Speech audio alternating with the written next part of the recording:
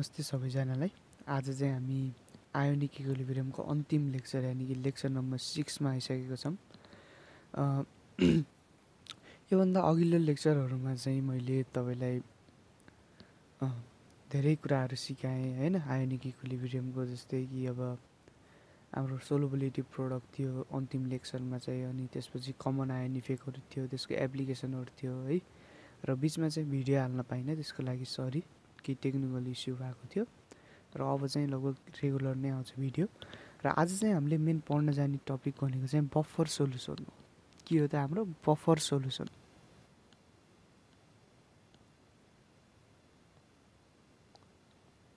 अब यो buffer solution भनेको के हो त? है जस्तै कि मैले एउटा सोल्युसन लिएँ है। सो यसको एउटा पिएच छ अरे। यसको पिएच भ्यालु चाहिँ ए छ अरे।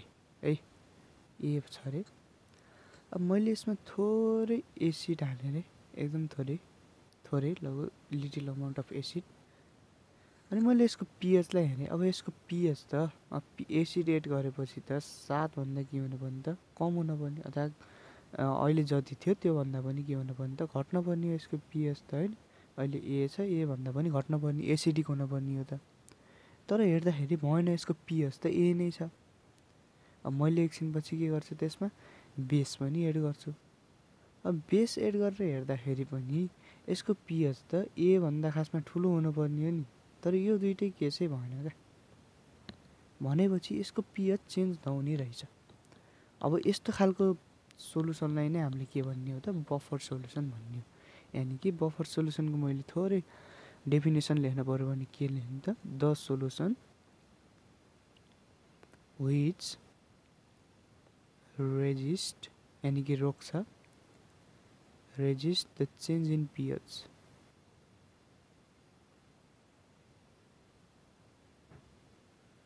when small amount of acid or base is added भनेको यस्तो टाइपको सोल्युसन जसले चाहिँ के हुन्छ त आफूमा जुन पिएचको चेन्ज आउँछ जति बेला चाहिँ हामीले थोरै त्यसमा एसिड र बेस हाल्यौँ भने त त्यो कि त एसिडिकतिर गएर त्यसको पिएच भ्यालु कम हुन्छ कि त एसिड बेसिकतिर गएर त्यसको पिएच भ्यालु बढ्छ होइन? तर यस्तो टाइपको सोल्युसन पनि हुन्छ जसले चाहिँ त्यो चेन्ज जुन हुन्छ त्यसलाई चाहिँ रेजिस्ट गर्छ रोक्न सक्छ। है हो त्यस्तो टाइपको सोल्युसनलाई हामीले के भन्ने त? बबर सोल्युसन भन्ने ठिक छ? एउटा चाहिँ यसमा के हुन्छ त? फिक्स्ड पिएच हुन्छ। फिक्स्ड पिएच है र एकदमै इम्पोर्टेन्ट छ है। हाम्रो विभिन्न केमिकल प्रोसेसहरू जुन ल्याबमा हुन्छ त्यो प्रोसेसरमा कुनै पनि चिजलाई चाहिँ ठ्याक्क फिक्स पिएचको बनाउन एकदमै जरुरत हुन्छ र बायोलोजिकल प्रोसेस यानि हाम्रो शरीरमा पनि धेरै टिप किसिमको बफर सोल्युसनहरू पाइन्छ। जस्तै इक्जाम्पलमा एकदम मोस्ट कमन बफर सोल्युसन भनेको के हो त? ब्लड जसको चाहिँ पिएच भ्यालु जुन छ पिएच भ्यालु चाहिँ लगभग लगभग कति हुन्छ भने सेभेन पोइन्ट थ्री सिक्सदेखि लिएर सेभेन पोइन्ट फोर टूको बिचमा हुन्छ। अब यसलाई राउन्ड अफ गरेर हेर्ने भने लगभग सेभेन पोइन्ट फोर नै देखिन्छ। अब यो त्यस्तो ठुलो चेन्ज हो त नि होइन नि त होइन? खासमा चाहिँ कस्तो हुन्छ त स्लाइटली अल्कलाइन नै हुन्छ उनीहरूलाई। स्लाइटली अल्कलाइन अब यो स्लाइटली अल्कलाइन नै रहन्छ यसमा हामीले एसिड थोरै मात्रामा एड गऱ्यौँ भने खासमा यसको एसिडिटी बढ्न पर्ने एसिडिटी बढ्दाखेरि यसको पिएच चाहिँ घट्न पर्ने हो सातभन्दा मुनि हुनुपर्ने तर त्यस्तो हुन्न।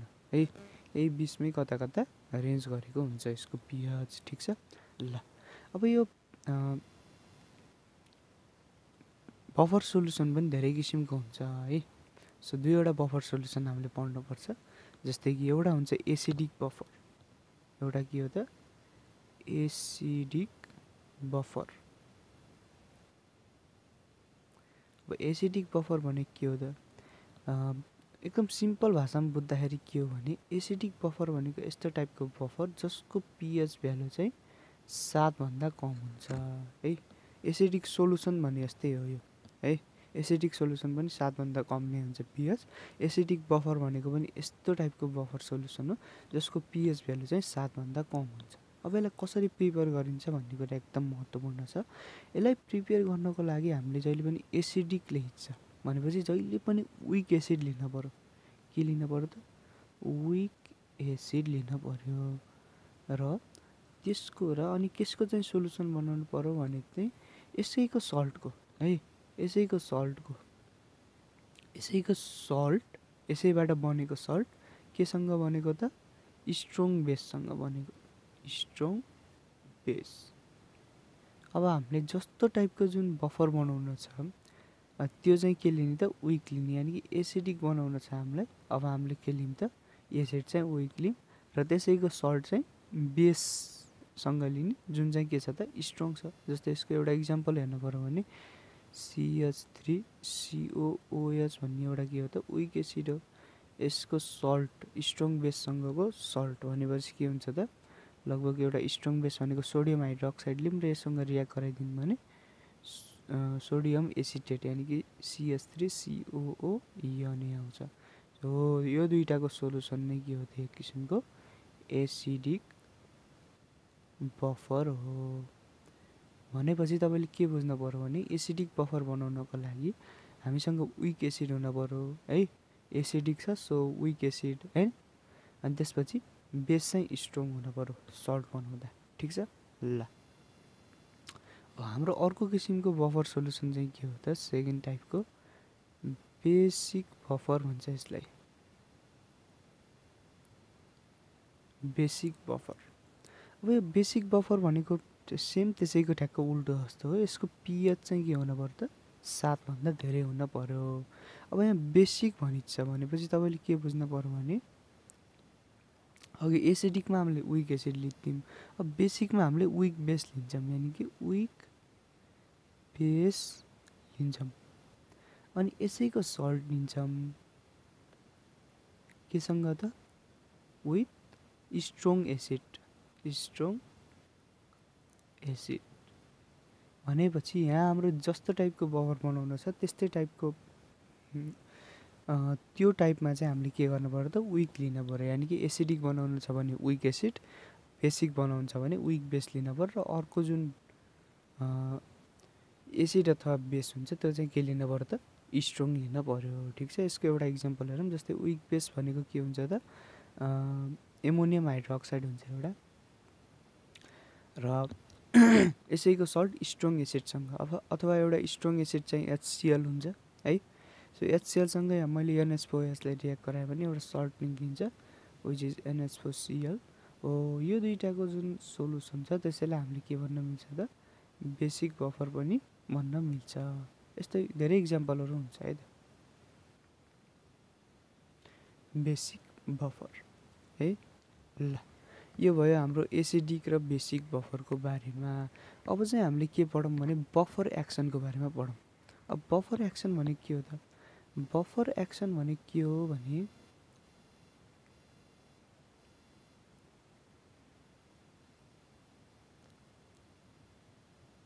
Buffer action. बफर एक्सन भनेको के हो भने यस्तो टाइपको एउटा क्यापासिटी बफर सल्युसनको जसले जसको कारणले गर्दा चाहिँ त्यसले त्यो जुन आफूमा आउने चेन्ज हुन्छ पिएचको चेन्ज त्यसलाई चाहिँ रेजिस्ट गर्न सक्छ रोक्न सक्छ। है यो सिम्पल छ यसको डेफिनेसनलाई हामीले त्यति हेर्नु परेन।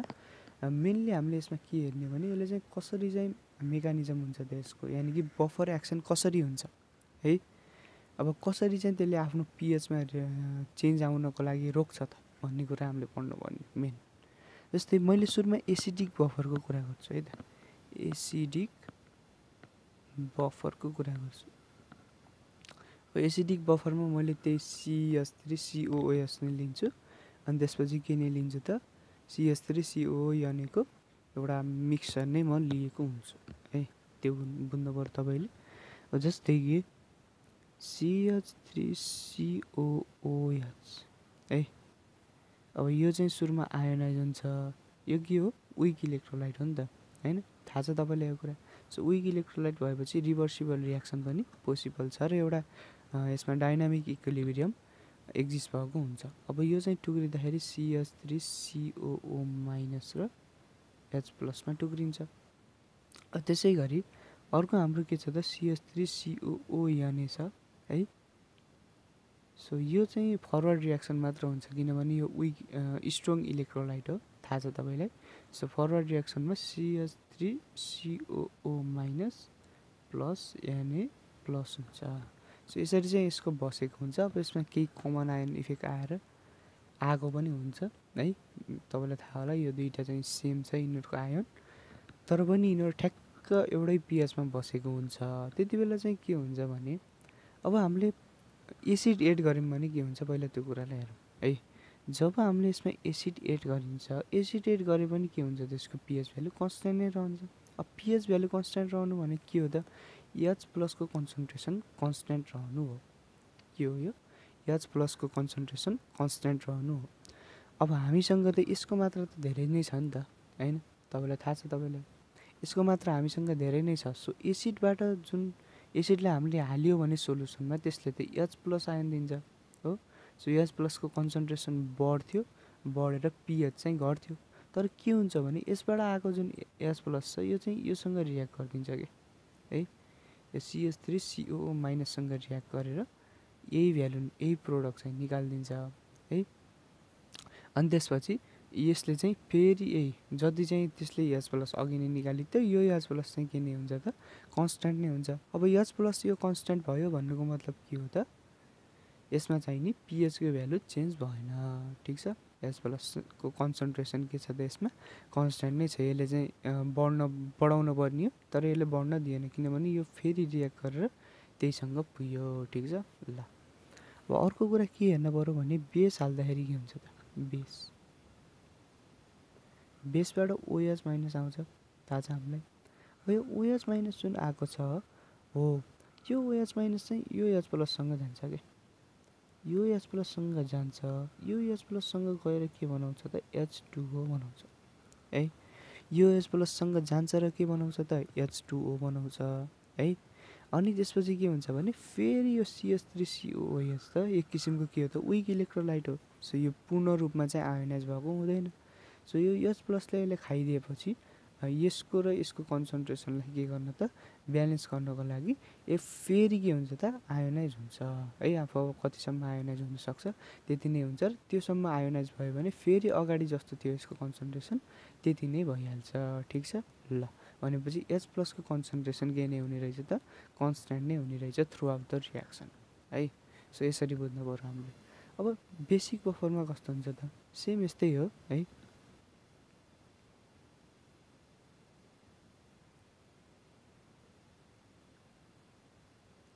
बेसिक बफरमा तपाईँले के बुझ्नु पऱ्यो भने एउटा इक्जाम्पल नै दिन्छु म। अघि भने जस्तै एनएच ओएच छ एउटा चाहिँ है? र अर्को चाहिँ के छ त? एनएच सिएल छ।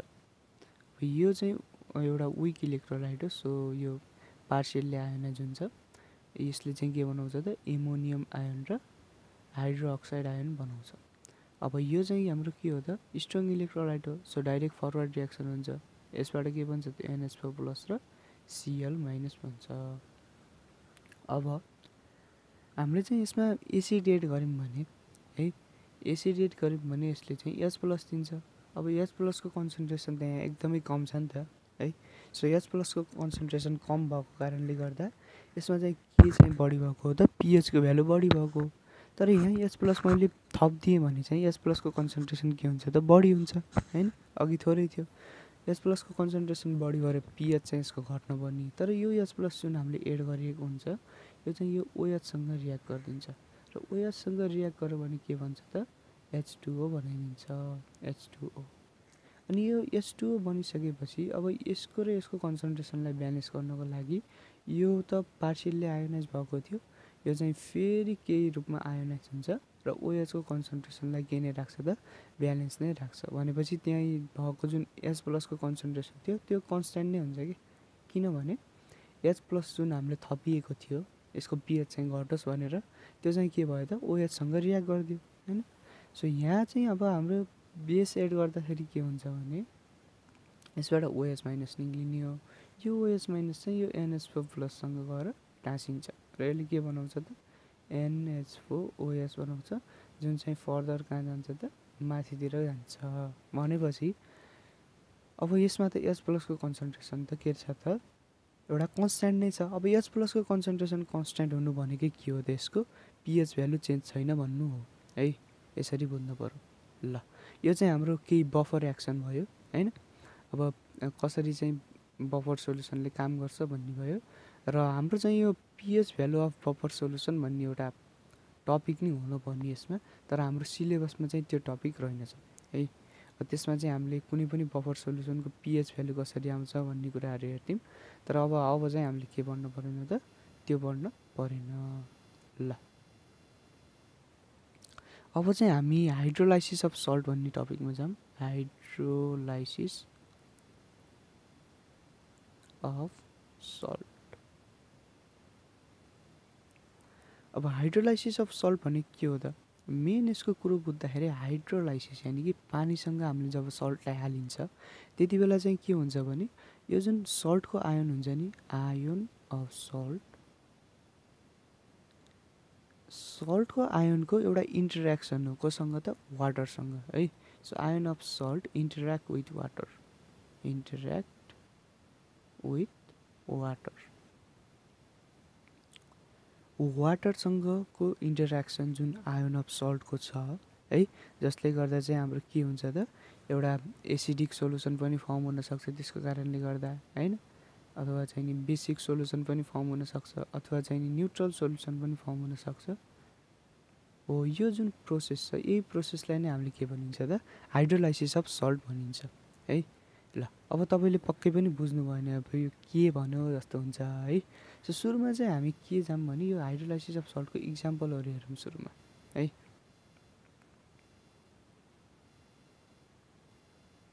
अब इक्जाम्पल हेर्दाखेरि चाहिँ हामीले यसरी हेर्छौँ।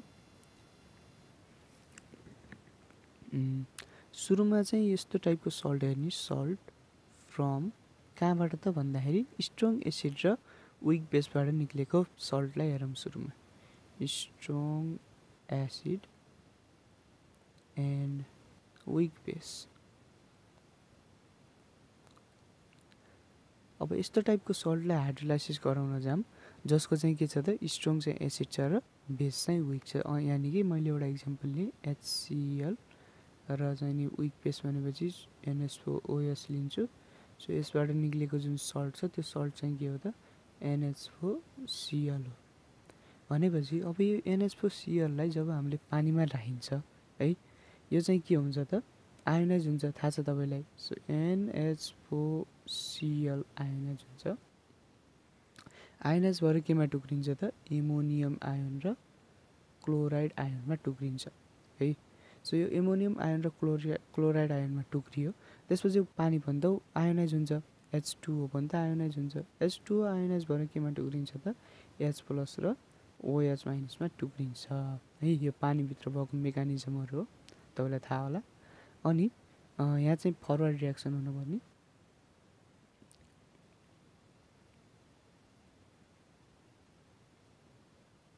यो त स्ट्रङ इलेक्ट्रोलाइट हो नि त होइन? सो यस्तो टाइपको रियाक्सन चाहिँ त्यसमा देखा पर्छ। है अब चाहिँ के हुन्छ त? अब चाहिँ के हुन्छ भने हाम्रो जुन यो पानीमा भएको जुन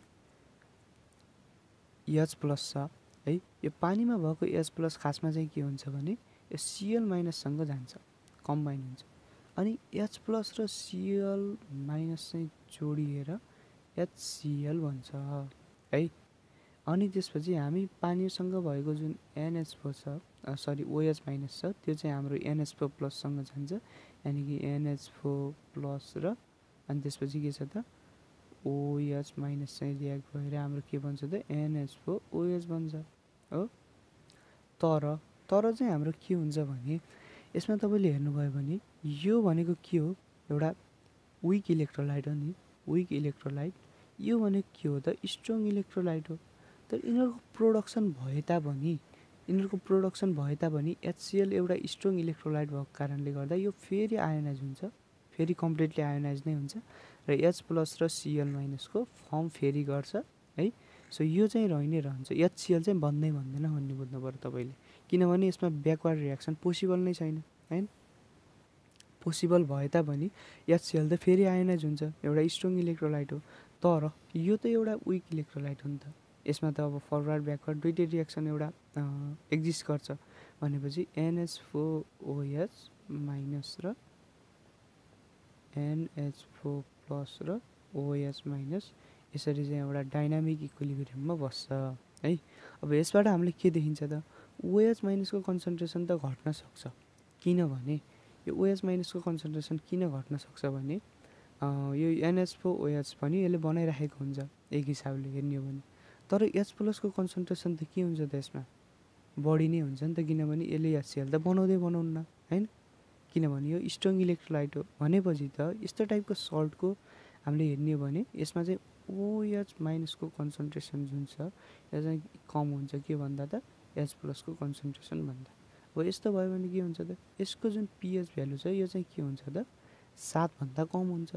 PH value is less than seven. भनेपछि यस्तो के हुने रहेछ त एसिडिक सोल्युसन बनाउँदो रहेछ यसले।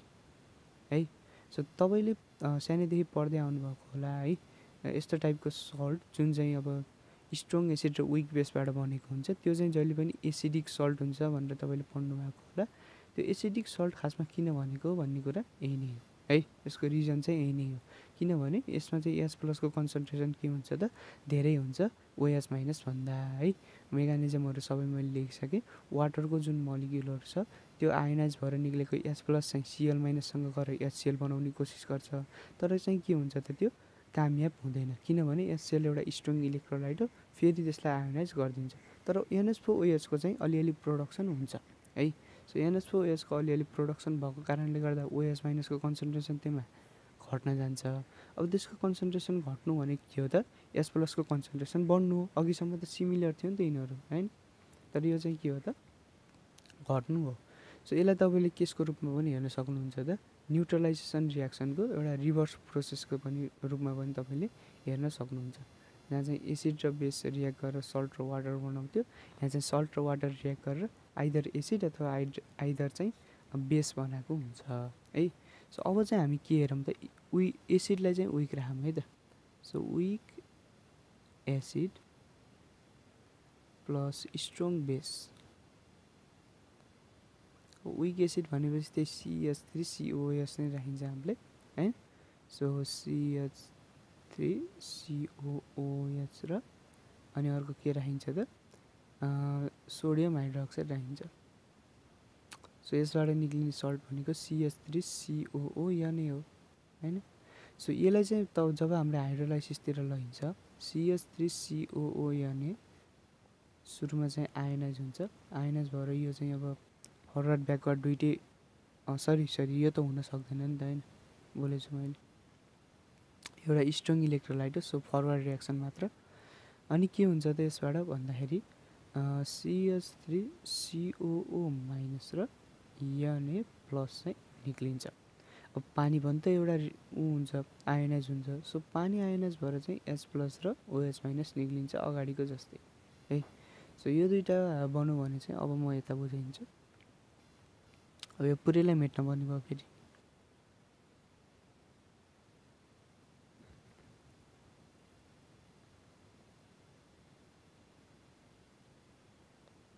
यतातिर हेरौँ।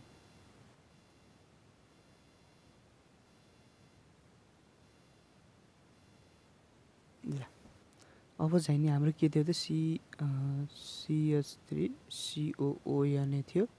यो चाहिँ हाम्रो आयोनाइज भएर सिएस थ्री सिओओ माइनस र यनए प्लस चाहिँ बनाएको थियो। अनि त्यसपछि अर्को हाम्रो के थियो त वाटर थियो। वाटरले चाहिँ यो रिभर्स पनि हुन्छ। एच प्लस र ओएच माइनस आयन निकालेको थियो। अब अब चाहिँ के हुन्छ भने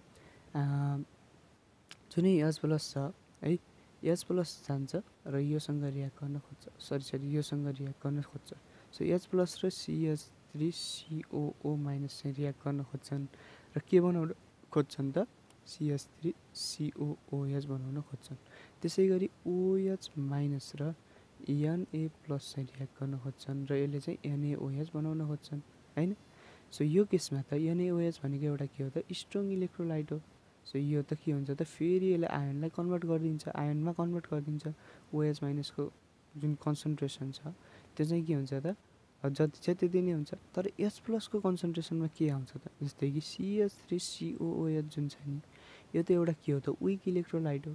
सो यो चाहिँ ब्याकवार्ड पनि रियाक्सन हुन्छ यसमा। भनेपछि एच प्लस र सिएच थ्री सिओओ माइनस जुन छ यसबाट केही हदसम्म सिएच थ्री सिओएच पनि बनेको हुन्छ। सो त्यो बनेको कारणले गर्दा एच प्लसको कन्सन्ट्रेसन जुन हुन्छ यो चाहिँ के हुन्छ त? कम हुन्छ ओएच माइनसको भन्दा। है? सो एच प्लसको कन्सन्ट्रेसन कम हुनु भनेको के हो त? बेसिक सोलुसन हुनु हो। सो बेसिक सोलुसन हुनु भनेको के हो त? पिएचको भ्यालु चाहिँ के हुनु हो? सातभन्दा सरी सातभन्दा चाहिँ धेरै हुनु हो। सो यस्तो टाइपको जुन सल्ट हुन्छ त्यसको चाहिँ पिएच भनेको सातभन्दा के हुन्छ त? धेरै हुन्छ है। सो अर्को पनि लिउँ अर्को मैले के लिन्छु भने दुइटै विक है। दुइटैलाई मैले विक राख्छु यानि कि सिएच थ्री सिओओएच एउटा इक्जाम्पल लिउँ र एनएस फोर ओएच लिम। है सो यो दुइटालाई रियाक्ट गराउँदाखेरि हाम्रो के आउँछ त? CS three COO NS four आउँछ। सो यस्तो टाइपको सल्टले अब के हुन्छ यस्तो टाइपको सल्ट जुन छ CS three COO NS four यो चाहिँ सुरुमा आयनाइज हुन्छ। आयनाइज भएर के भन्छ त? यो रिभर्स पनि हुन्छ। सिएस थ्री सिओओ माइनस र एनएस फोर प्लस भन्छ होइन? अब यो बनिसकेपछि एस टू पनि आयनाइज हुन्छ र के भन्छ त एस टूबाट चाहिँ एच प्लस र ओएच माइनस भन्छ। अब यो एच प्लस कहाँ जान्छ त? योसँग रियाक्ट गर्न जान्छ। So CH three COO minus र एच प्लस चाहिँ रियाक्ट गरेर के बनाउन खोज्छ त? सिएच थ्री सिओओएच बनाउन खोज्छ एसिड बनाउन खोज्छ। त्यसै गरी ओएच माइनस र के रियाक्ट गरेर त भन्दा? एनएच फोर रियाक्ट गरेर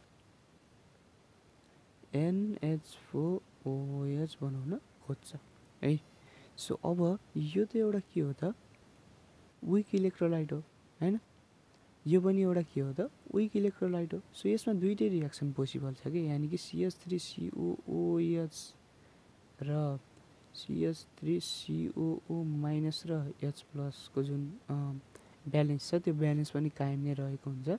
र यसमा चाहिँ अर्को के पनि हुन्छ त भन्दाखेरि एनएच फोर ओएचको जुन रियाक्सन छ यानि कि आयोनाइजेसन छ एनएच फोर प्लस र ओएच माइनसवाला रियाक्सन यो रियाक्सन यो रियाक्सन पनि यसमा कायम नै रहेको हुन्छ।